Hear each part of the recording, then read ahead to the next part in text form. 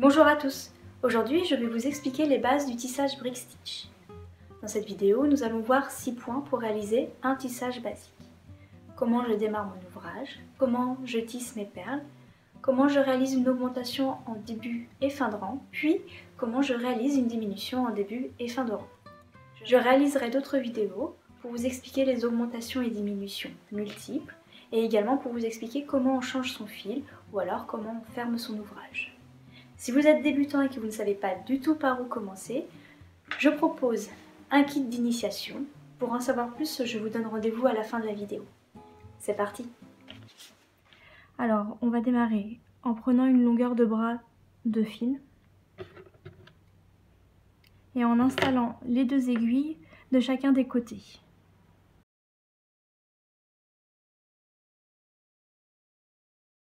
Je vais prendre deux perles. Je prends toujours volontairement deux perles à chaque début de rang.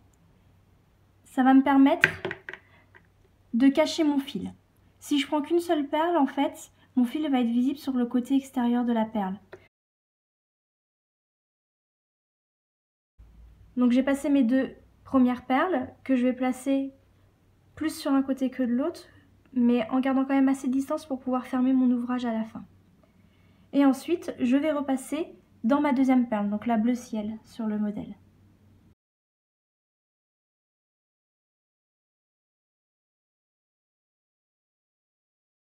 Et naturellement, les perles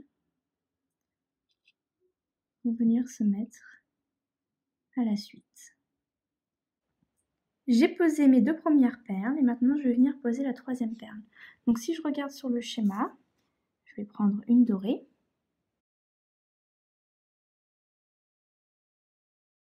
et avec l'autre aiguille, je viens piquer dans l'autre sens.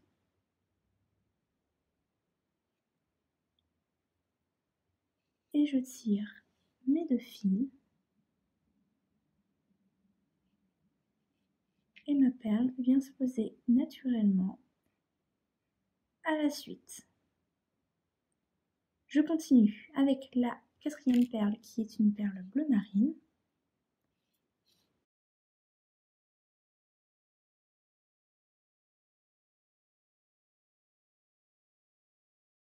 Naturellement, ça se met à la suite.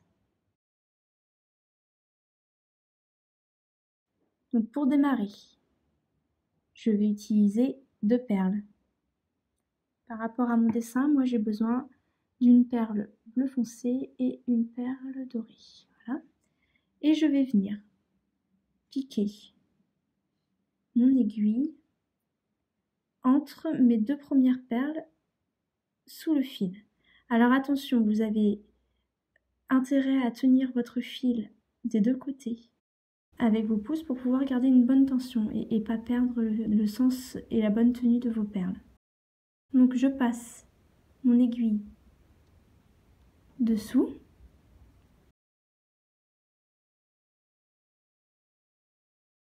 Et je reviens piquer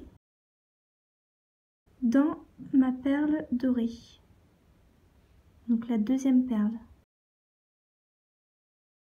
Je tire le fil et vous voyez, naturellement en fait, les perles viennent se placer en quinconce.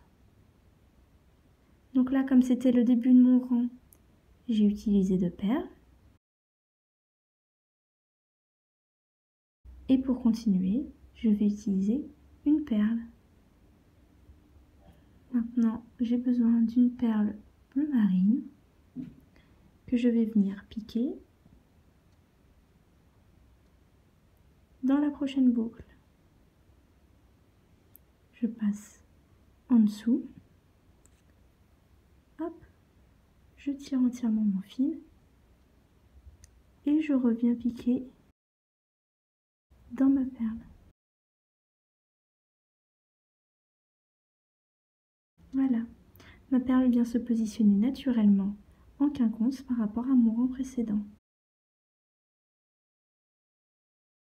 Je suis arrivée au bout de mon deuxième rang et maintenant je dois réaliser une augmentation. Or, je ne peux plus continuer à tisser en passant entre deux perles puisqu'il ne me reste plus qu'une seule perle. Je prends la perle pour finir mon ouvrage et je vais venir repiquer au même endroit que pour ma perle précédente, c'est-à-dire entre mes deux dernières perles du rang précédent. Donc je pique entre les deux perles. Mon aiguille arrive à peu près à cet endroit-là.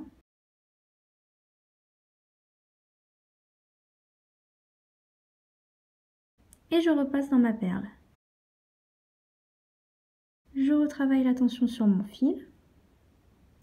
Et vous voyez, ma perle est venue se positionner en quinconce et a réalisé une augmentation. Donc je vais commencer toujours comme d'habitude avec deux perles. J'ai mes deux perles et là, au lieu de venir piquer dans ma première boucle, je vais venir piquer dans ma deuxième boucle. Donc le fil qui est entre la perle numéro 2 et la perle numéro 3 du rang précédent.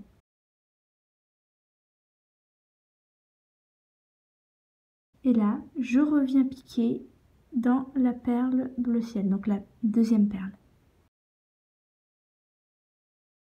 Mon ouvrage est en diminution et je peux continuer comme ça, donc en prenant une perle et en venant la mettre à la prochaine euh, boucle, mais je peux aussi solidifier mon, mon ouvrage. Vous voyez ici, la perle bleue a tendance à se relever comme ça. Si je veux vraiment fixer mon ouvrage en début de rang, je peux repasser mon fil.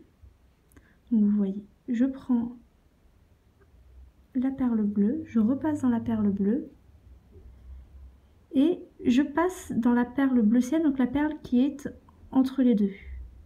Voilà.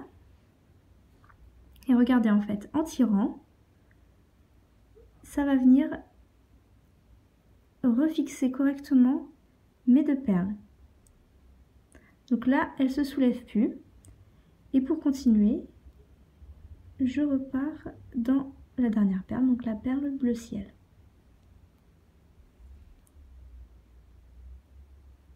Ma démarche est invisible et elle permet de solidifier mon début de rang.